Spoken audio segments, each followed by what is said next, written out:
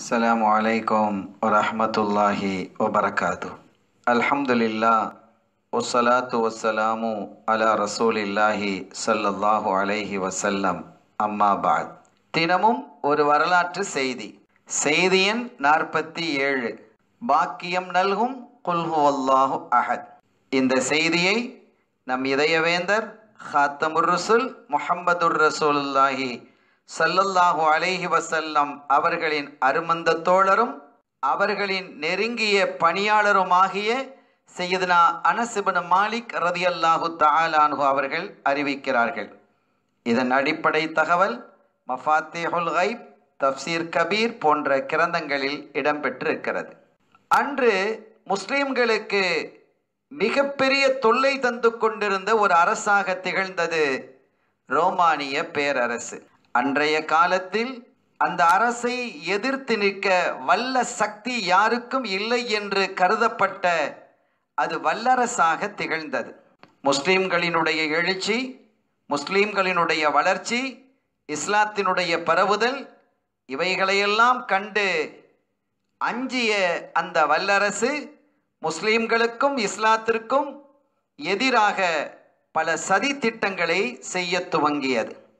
எனவே அவர்களுக்கு அச்சுறுத்தல் தர வேண்டியும் அவர்களுடைய இந்த சதிராட்டங்களை அடக்க வேண்டியும் கண்மணி நாயகம் செல்லல்லாஹு அலைஹி வஸல்லம் அவர்கள் ஹிஜ்ரி ஒன்பதாம் ஆண்டு தபூக்கை நோக்கி ஒரு பெரிய படையை அவர்கள் நடத்தி சென்றார்கள். மாமதீனாவிலிருந்து கண்மணி செல்லல்லாஹு அலைஹி வஸல்லம் அவர்கள் வெகு தூரம் சென்ற ஒரு யுத்த களம் இது என்றால் அது மிகையல்ல. அவர்கள் அப்படி தபூக்கிலே தங்கி இருக்கும் பொழுது ஒரு நாள் சூரியன் வித்தியாசமாக உதயமாகியது. அதில் உஷ்ணம் இல்லை சூடு இல்லை வெளிச்சமும் கூட மிக வலுவாக இல்லை. இருந்த தோழர்கள் எல்லாம் இதை பார்த்து ஆச்சரியப்பட்டு போனார்கள்.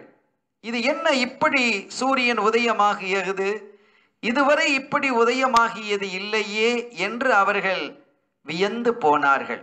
வானவர்கோன் செய்யதுனா ஜிப்ரஹில் அலிஹிஸ்லாம் அவர்கள் விண்ணிலிருந்து இறங்கி கண்மணி நாயகம் சல்லல்லாஹு அலைஹி வசல்லம் அவர்களிடத்தில் சொன்னார்கள் நாயகமே இன்றைய தினம் எழுபதாயிரம் மலக்குமார்கள் இந்த பூமிக்கு இறங்குகிறார்கள்.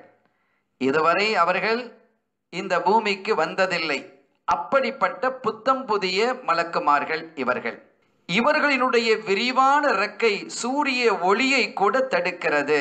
அதுதான் இன்றைய நிலை. இவர்கள் வருகை தந்ததற்கான காரணம் என்னவெனில் மதீனா ஷெரீஃபில் உங்களினுடைய அருமந்த தோழர் செய்யுதுனா மொஹாவியத்துபனு மொஹாவியா ரதியல்லாஹு தாலானு அவர்கள் மரணித்து விட்டார்கள். அவர்களினுடைய ஜனாசா தொழுகையிலே கலந்து கொள்வதற்காக இந்த மலக்குமார்கள் வருகை தருகிறார்கள். யார சொல்லலாம்? நீங்களும் இந்த தொழுகையிலே கலந்து கொண்டு இந்த தொழுகையை நடத்த விருப்பப்படுகிறீர்களா? என்று கேட்ட பொழுது ஆம் என்றார்கள் முஹம்மதுர் ரசூலுல்லாஹி சல்லல்லாஹு அலேஹி வசல்லம் அவர்கள். அப்போது தன்னுடைய வலிமையான இறக்கையால் இந்த பூமியை ஜிப்ரையில் அலைஹிஸ்ஸலாம் அவர்கள் ஒரு அடி அடித்த பொழுது தபூக்கிலிருந்து மதீனா வரை உள்ள மலைகளெல்லாம் திரைகளெல்லாம் அகன்று போனது. மிக அருகிலேயே அவர்களுடைய ஜனாசா தெரிந்தது. கண்மணி செல்லல்லாஹ் ஒலைவ செல்லம் அவர்கள் தொழ சஹாபிகளும் அந்த தொழுகையிலே கலந்து கொண்டார்கள்.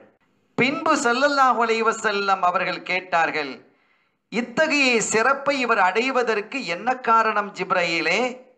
என்று வினவிய போது கான யுஹிப்பு சூரத்தல் இஹ்லாஸ். நாயகமே இவர் சூரத்துல் இஹ்லாஸை விரும்பி ஓதக்கூடியவராக இருந்தார். எல்லா காலகட்டத்திலும் இதை ஓதிக்கொண்டு இருந்ததின் காரணத்தினால் அல்லாஹ் இத்தகைய சிறப்பை அவருக்கு கொடுத்தான் என்று கூறினார்கள். ஒரு பொழுது ஒரு மனிதர் கண்மணி சல்லல்லாஹு அலைவ செல்லம் அவர்களிடம் வந்து தங்களினுடைய ஏழ்மையை சொன்னார்கள். நாயகமே வறுமையினுடைய நிலை என்னால் பொறுக்க முடியவில்லை. மிகுந்த கஷ்டத்தில் உழலுகிறோம் என்று சொன்ன பொழுது சல்லல்லாஹ் ஒலைவ செல்லம் அவர்கள் சொன்னார்கள் நீ வீட்டுக்குள் சென்றால் சலாம் சொல். யாரும் இல்லை என்றாலும் பரவாயில்லை சலாம் சொல். சலாம் சொல்லிவிட்டு ஒரே ஒரு முறை குல்ஹுவல்லாஹு அஹதை நீ ஓது என்று சொன்னார்கள். அந்த தோழரும் அப்படியே செய்தார். ஒரு கட்டத்தில் அவருடைய வீட்டிலே செல்வம் கொழிக்க ஆரம்பித்தது என்பது மாத்திரமல்ல. அந்த வீட்டுக்கு இறங்கிய பரக்கத் சூழ இருந்த வீடுகளுக்கும் அது கிடைத்தது என்று செய்திகள் நமக்கு சொல்லுகிறது. எனவே நாம் தேவையில்லாத வார்த்தைகளையும் விஷயங்களையும் பேசுவதை விட்டு நம் நாவை குல்ஹுவல்லா அகது ஓதுவதிலே இணைப்போமையானால் நம் வாழ்வு வளம் பொருந்திய வாழ்வாக அமையும். அத்தகைய சிறப்பான வாழ்வை வாழக்கூடியவர்களாக அல்லாஹ் நம்மை ஆக்கி சூரத்துல் இஹ்லாஸை நேசிக்கக்கூடியவர்களாகவும் நம்மையும் நம் சந்ததிகளையும் ஆக்கி அருள் வாழிப்பானாக ஆமீன். வசலாம் அலைக்கும் வரஹமத்துல்லாஹி வபரகாத்து